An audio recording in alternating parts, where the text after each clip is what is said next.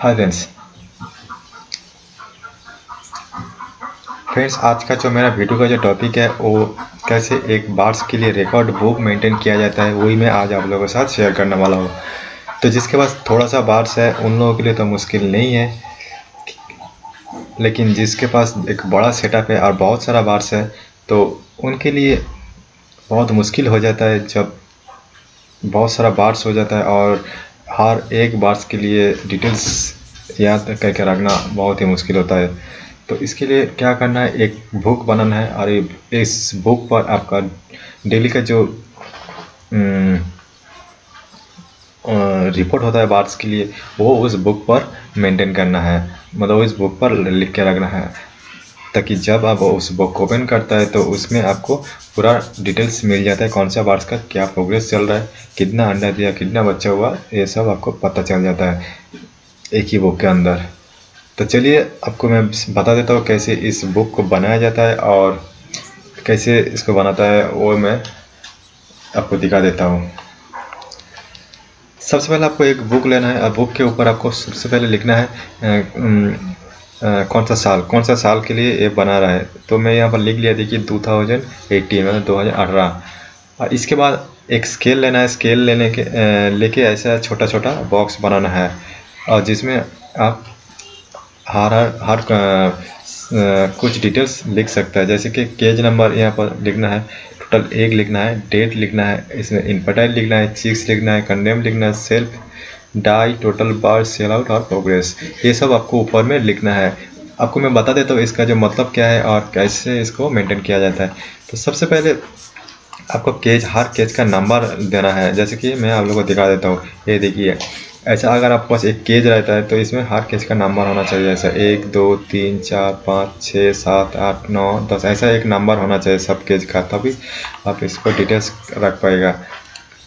तो चलिए, मैं को बता देता हूँ। देखिए, जैसे कि एक नंबर केज एक नंबर केज में आपको क्या करना है? सबसे पहले आपको उसमें चेक करना है कितना अंडा दिया है, पाँच अंडा दिया तो चलिए, पाँच अंडा दिया तो कौन सा डेट में दिया है? तो वो डेट यहाँ पर आपको मेंशन करना है।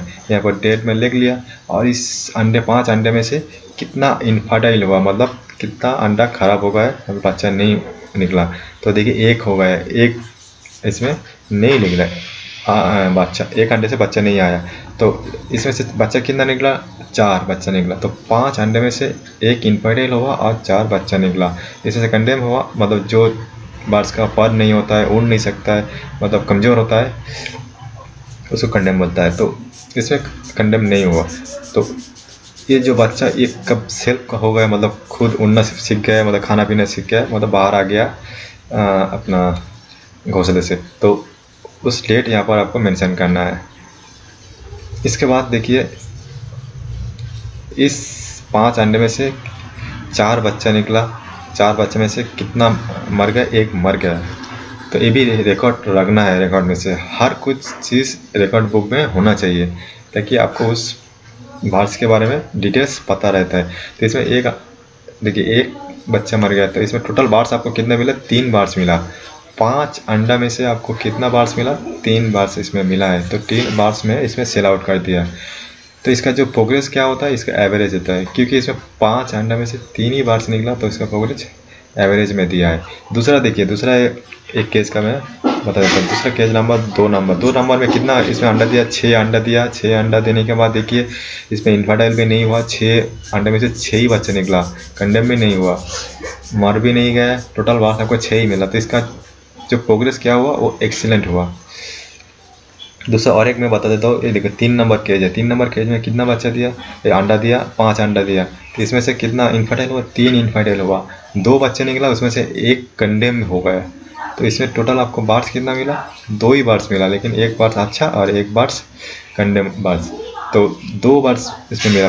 पाँच अंडे में से आपको दो ही बार्स मिला। तो इसका जो प्रोग्रेस है, क्या है? बैड हो गया है। मतलब ख़राब है इसका प्रोग्रेस तो अभी मैं आपको बता देता हूँ, ये बुक मेंटेन करने का जो फ़ायदा है, वो क्या है?